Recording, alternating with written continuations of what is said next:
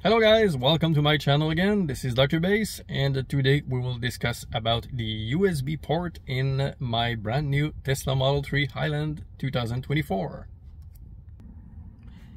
And so today we will discuss about the maximum power we can get from the USB-C port that the Tesla have uh, in this area, inside this area, and on the back seat here there's two port right here so what I will do is I will uh, use my uh, test cable that uh, can measure the uh, power with a little display here. They are quite accurate. I have measured that already. And I will use uh, diff two different loads. Uh, the first load will be um, my laptop computer that will need to be recharged. And the second load is these resistors that I will use in fact with this what it's called it's uh, called a, a, decoy board. So this little board will communicate with the USB and tell the USB port which voltage it desire because uh, in fact the USB-C port are quite different. It's like a uh, level 3 charger for EV it is the EV that tell the charger what kind of voltage and current and power it can take so this board is set to get uh, 20 volt uh, actually with a little dip switch here. And I will use these resistors here. These are one ohm resistors collected in series and I will use seven of these for a total of 7 ohm to get about uh, 60 watt at uh, 20 volt. That is the maximum voltage these USB-C port are providing. So without uh, waiting uh, uh, anymore, I will first connect um, the um, USB uh, power from the back seat here, where the screen here, just here. And I will connect the other uh, end to my laptop for charging. So right now, I will connect it here and you will see the display. All right, so what kind of power we're getting here. So we have 15 watt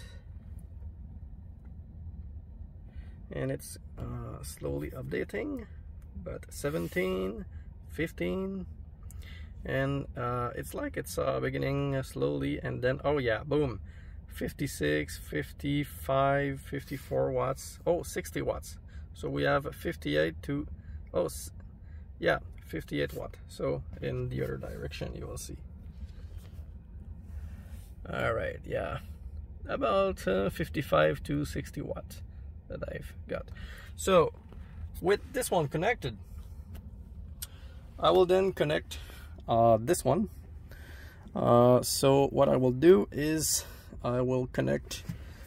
You see the decoy board is already connected and resistor so I will connect this one in the center console here and I will hope that I will be able to show you the maximum. So oh yeah 67 watt directly. So I have 67 watt from this port while I'm still having 56 or 57 watt from this port so that is a good news in fact because that means that uh, these two ports or at least two of the uh, USB-C port inside the Tesla Model 3 Highland 2, uh, 2024 can provide a total of 126 130 watt about. So in the uh, Tesla manual it is specified that we can use uh, at the same time two port for 65 watts or three ports for about 42 or 40 watt uh, each. So I think that it means that you can use these at the same time and this is what I've tested today.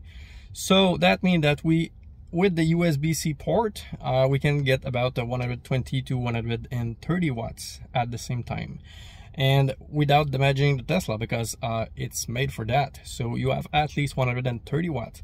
And the good news is that if you combine that power with the power that we normally have right here, so there's a 12 volt uh, socket here, uh, the accessory socket. I'm not sure if you can see it right here.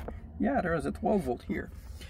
So that is a 12 volt uh, socket. Uh, well, this is not 12 because in the 2024 there's the uh, 16 volt 16 volt battery, which is a lithium ion battery uh, that is uh, providing about a 15.5 volt at up to 12 amp.